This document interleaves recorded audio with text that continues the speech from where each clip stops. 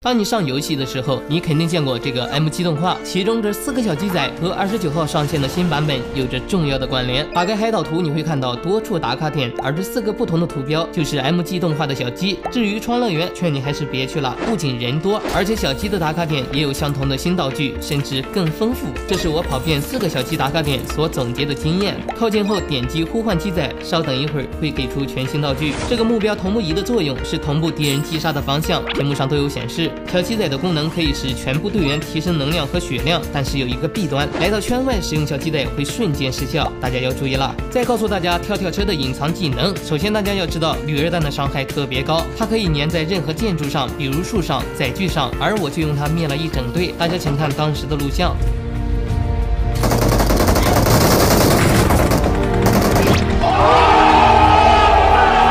我操，你一个铝弹给他淘汰了啊！操！一个榴弹你咋扛了？这铝儿弹是不是太强大了？摇车站的小伙伴要注意了。但是有个细节，人物先倒地，而载具还在燃烧，随之发生爆炸。来听听声音。那么也就是说，这个载具不能保护车内的人，而跳跳车恰恰相反。可以看到这个高度完全可以灼烧到自己。我开车过去，人物竟然无视铝二弹的伤害，但是载具的耐久度会下降。虽然人物会无视伤害，但任何载具爆炸都会导致车毁人亡，所以大家还是要注意一下。学到了就是赚到了，满满的细节，您发现了吗？没有还不艾特你的小伙伴？